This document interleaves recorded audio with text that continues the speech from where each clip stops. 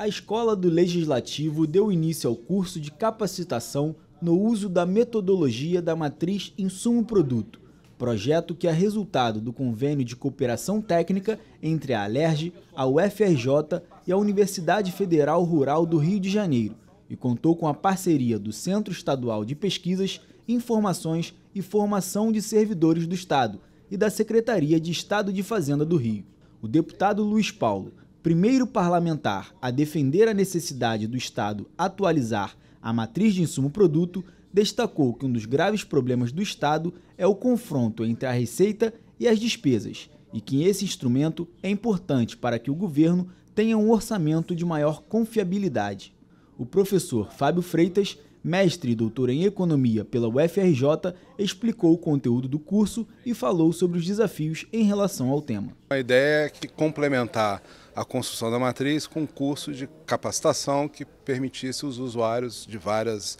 instituições do estado do Rio de Janeiro, né, potenciais usuários da matriz de um produto pudessem se capacitar para usar adequadamente esse instrumental nas suas análises de políticas públicas. É um desafio, sempre ensinar é,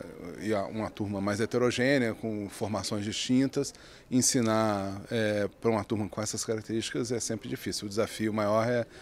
não perder ninguém no meio do caminho, entendeu? Então a gente tenta manter num nível acessível a todos e ao mesmo tempo andar com o conteúdo que é necessário para a compreensão do instrumental e a sua melhor utilização.